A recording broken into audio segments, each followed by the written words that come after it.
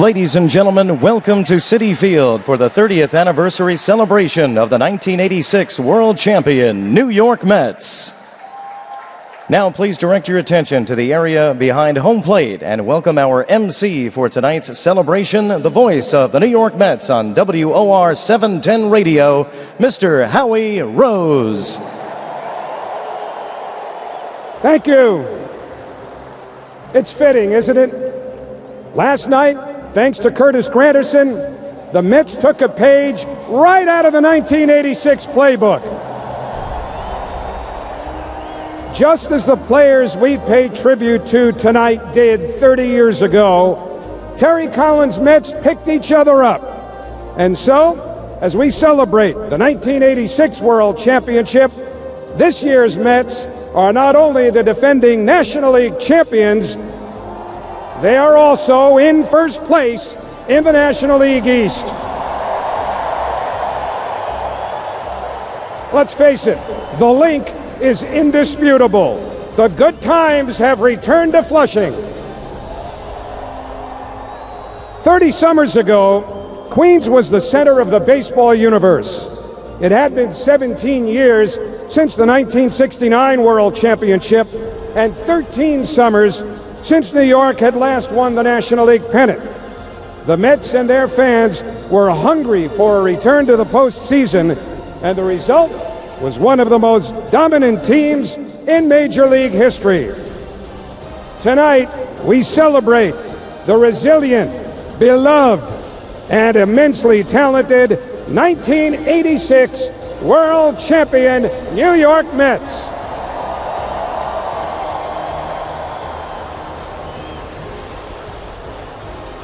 We begin by honoring the architect of the team.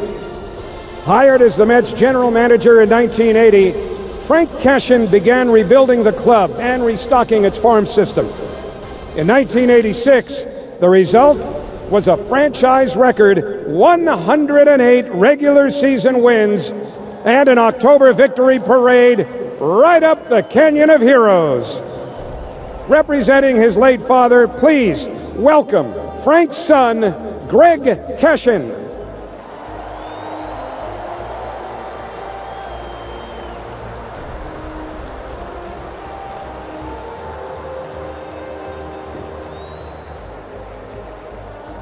Every championship team kneels a field general. And no matter how good this team was, they needed the right manager, suited to the ball club. In this case, the 86 Mets, better than this former Oriole slugger. He took the reins in 1984 and immediately transformed the franchise into a contender, earning consecutive second place finishes, leading to the magical season of 1986. Please welcome number five, Davey Johnson.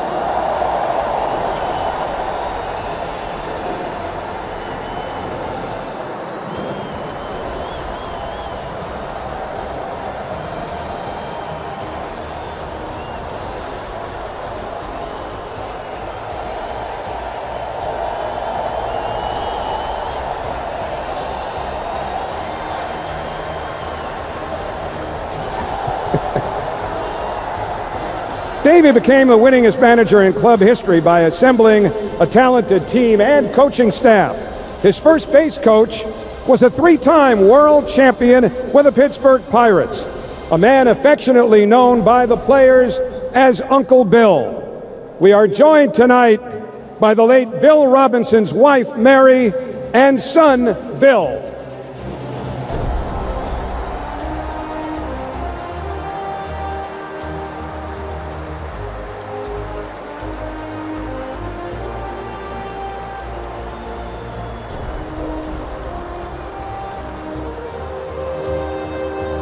Across the diamond, the club's third base coach had been the Mets shortstop for 13 seasons and a member of the storied world champions of 1969, the only Met to be in uniform for both the 1969 and 1986 World Series victories. Please welcome Gold Glover, Mets Hall of Famer, one of the most beloved Mets of all time, Buddy Harrelson.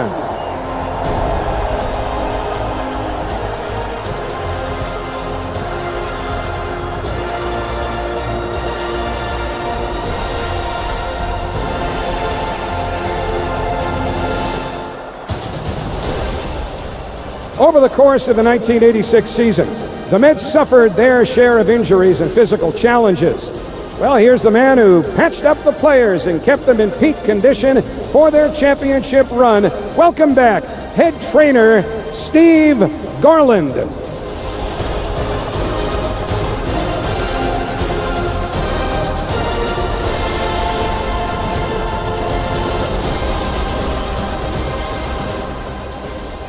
The 1986 Mets got off to an 11 game winning streak in April. That tied a club record. And that streak included a sweep of their arch rivals in St. Louis. The series began with a 10 inning thriller, thanks to a game tying ninth inning homer by the Met, simply known as Hojo. Number 20, Howard Johnson.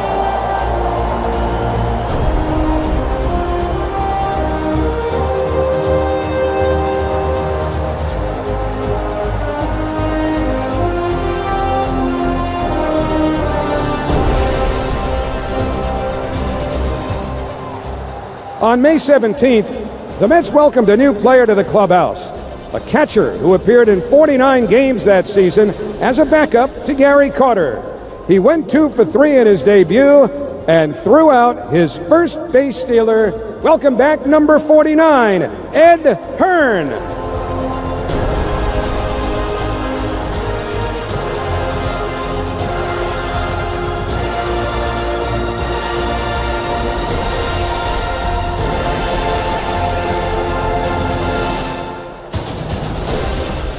The 1986 Mets had six pitchers with double digit win totals.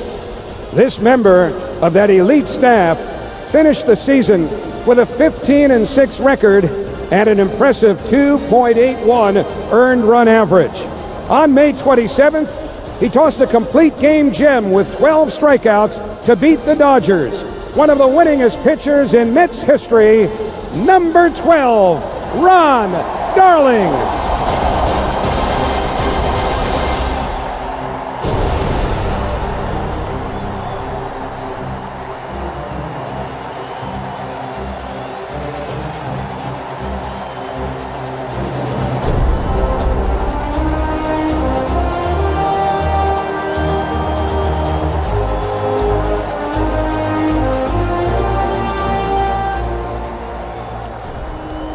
By June, the Mets were putting serious distance between themselves and the rest of the National League's Eastern Division. In a game against the Phillies on June 10th, Davey Johnson sent a right-handed pinch hitter to the plate in a tie game with the bases loaded. And the move paid off in grand fashion with a walk-off slam by number 11, Tim Teufel.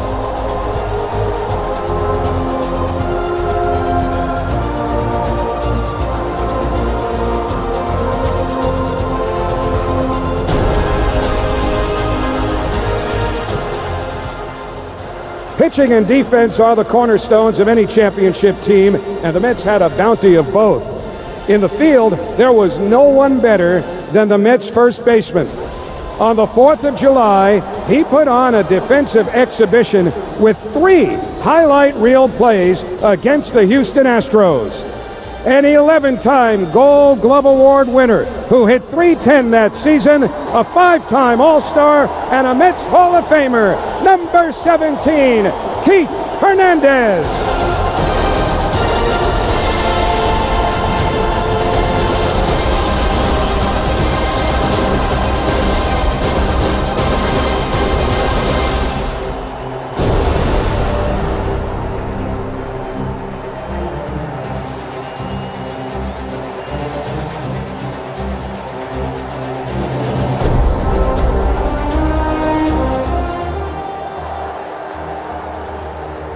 Another staple on defense was a player who joined the Mets in 1984 and went on to set a National League Championship Series record at shortstop for putouts and assists. He also led the club with 12 intentional walks that season. Welcome back, number three, Rafael Santana.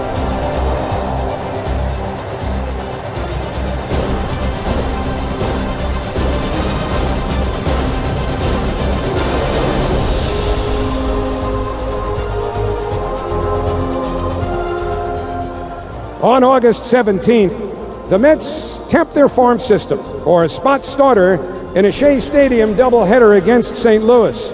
This left-hander was summoned from AAA Tidewater, and boy did he deliver, allowing just one run in six innings for a 9-2 victory. Here is number 40, Randy Niemann.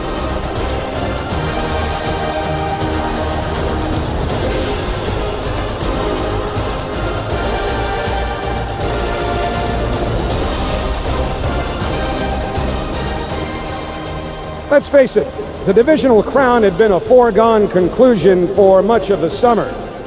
But on September the 17th, it finally became a reality. With a magic number of one, the Mets ace took the Shea Stadium mound for a game against the Cubs, clinching the team's first playoff berth in 13 years. Dr. K went 12 and 6 that season with 200 strikeouts 1984 Rookie of the Year and 1985 Cy Young winner a Mets Hall of Famer, number 16, Dwight Gooden.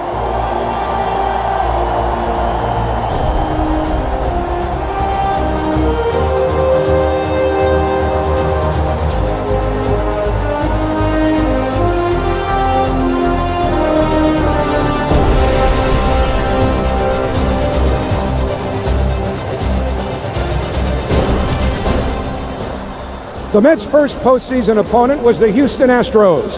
After dropping a 1 0 nail biter in the National League Championship Series opener, the Mets really needed a win. And this lefty went the distance in game two for a 5 1 victory that tied the series. He led the Mets starting rotation with 18 wins and a 2.57 ERA that season. Here is number 19, Bobby Ojeda.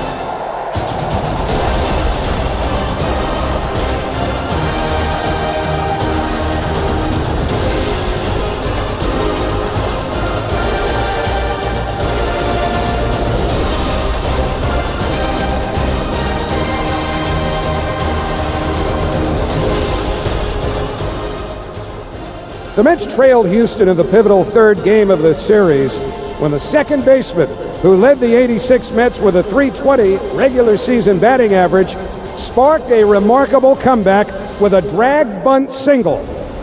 He batted 333 in the World Series and tied for the team lead with four runs scored. Here is number six, Wally Backman.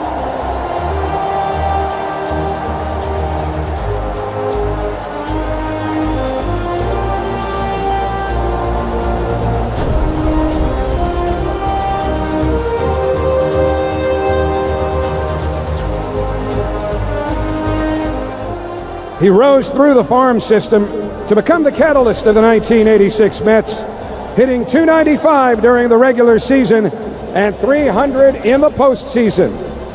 Two batters after Backman's bunt, this tough as nailed center fielder hit a walk-off home run to give the Mets a 6-5 win in National League Championship Series Game 3, number 4, Lenny Dykstra.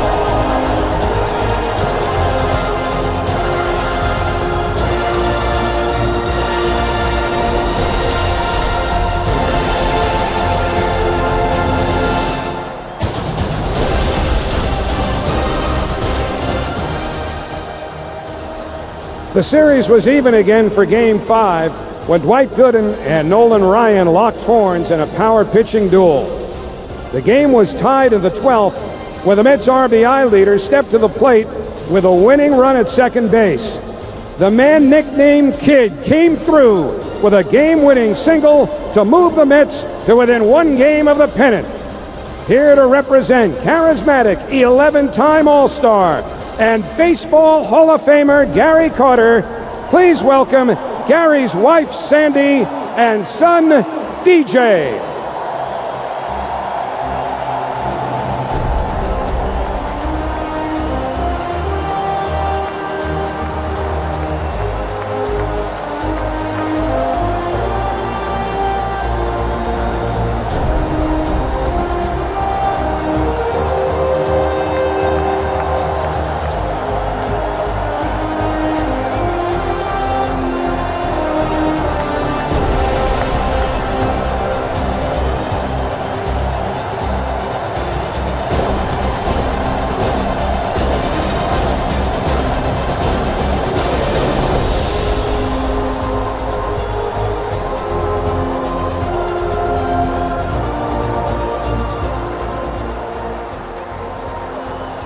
The pressure in Game 6 was palpable, with Astros Cy Young Award winner Mike Scott looming for the potential seventh and deciding game.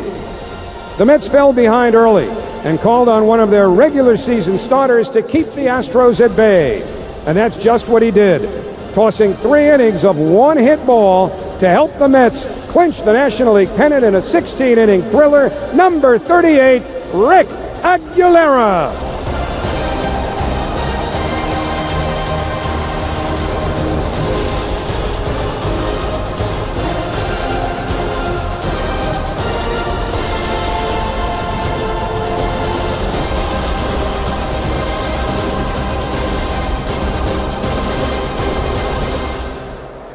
The Mets faced the American League champion Boston Red Sox in the 1986 World Series.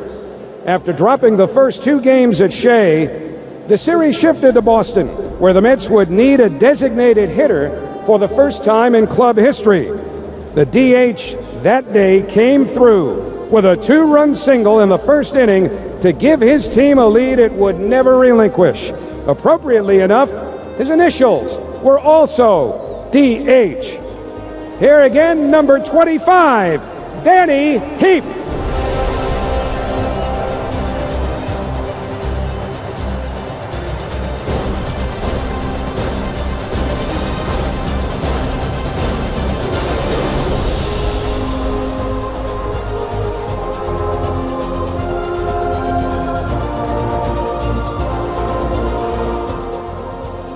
As you might remember, things looked rather bleak in Game 6, where the Red Sox took a two run lead at the top of the 10th inning. The Mets were down to their final out. When Gary Carter singled, this talented young slugger followed with a pinch hit single to keep the Mets' dreams alive. One of the most versatile athletes in club history, he played six of the nine defensive positions that season. Welcome back, number seven, Kevin Mitchell.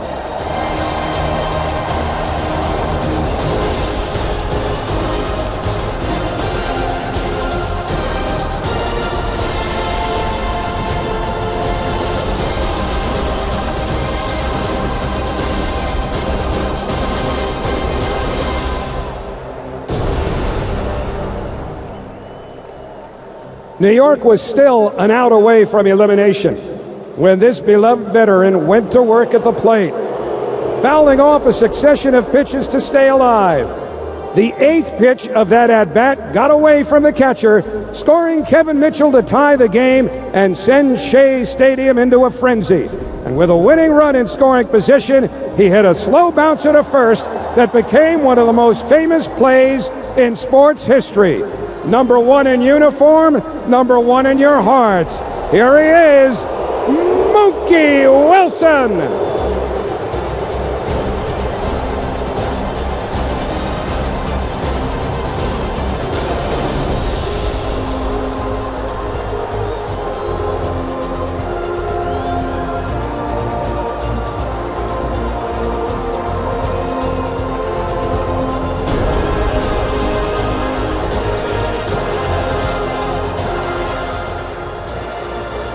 The Mets fell behind 3 to nothing in the second inning of Game 7, forcing Davey Johnson to use his bullpen early. He brought in a young lefty with a blazing fastball and sweeping curve. The Hawaiian native retired seven of the eight batters he faced, four via strikeout. Please welcome a 1986 All Star, number 50, El Cid, Sid Fernandez.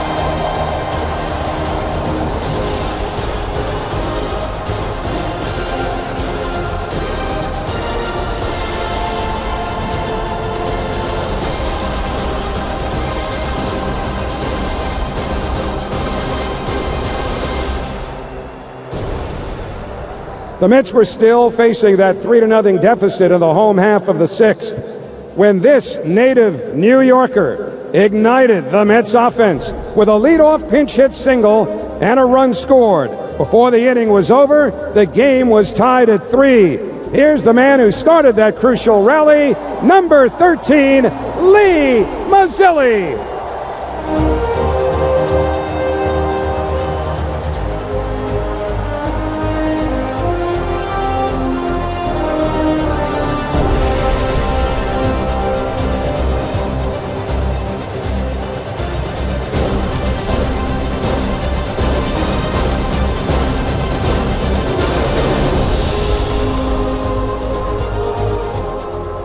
One inning later, this clutch third baseman slugged a leadoff homer to left, putting the Mets in front for the first time in that game.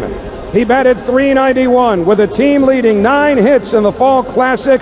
We are thrilled to finally welcome back the 1986 World Series Most Valuable Player, number 22, Ray Knight.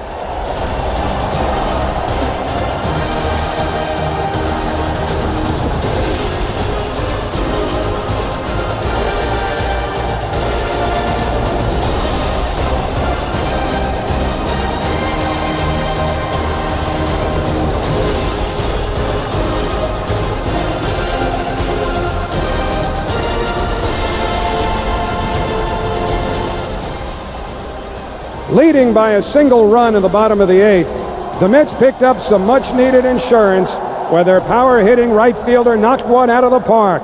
The 1983 National League Rookie of the Year and franchise leader with 252 Mets home runs. He's a Mets Hall of Famer, number 18, Darryl Strawberry.